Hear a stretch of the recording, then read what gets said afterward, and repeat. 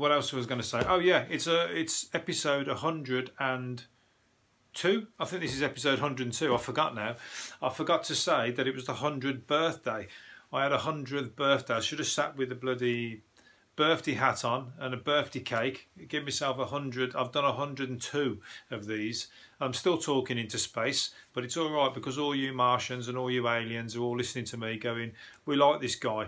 That guy we're going to leave alive. That guy we're not going to fucking exterminate when we come down and destroy all those fuckers that are ruining that God-given place."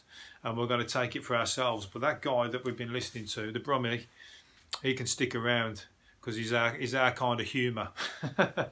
so um, you got to get in there. It's going to be like Star Wars. That that that um, that bar on Star Wars. You know, when it's all multi. Um, I was going to say multicultural, but multi. What would you call many many aliens from different places? It's multi uh, planetary, multi planetary, and there's going to be me in there sitting with my ten-eyed, bug-eyed mate, smoking on one of those pipes and we're all going to be just watching the world go by.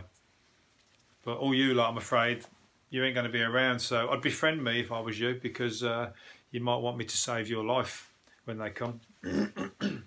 what am I talking about?